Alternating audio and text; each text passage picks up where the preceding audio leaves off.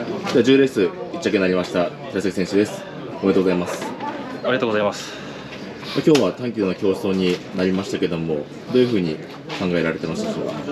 まあ、できれば前の方を取って、まあ、1取りたかったんですけど、まあ、後ろになったんで、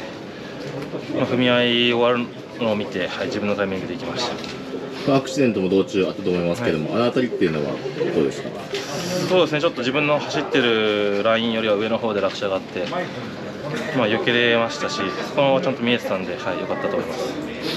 バックあたりから最後まくっていきましたけども、はい、ご自身の感覚的にはどうでしょうか？そうバンクちょっとまあ重い割になんかスカスカする感じがあったんで、まあ、踏み出しはあんま良くなかったんですけど、ま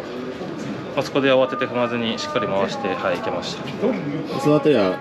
この後もセッティングを見直したりっていう感じですかね、まあ、そうセッティングとか乗り方意識して、まあ、乗ってたんでその成果が出てるのかなと思います、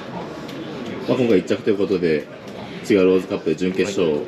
決まりましたけどもこの辺りはどうですか、まあ、特選乗った側にやっぱローズ目指してたんでしっかり、はい、ものにできてよかったと思います。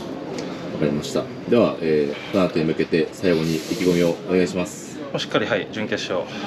まずは決勝に上がれるよう頑張ります。応援お願いします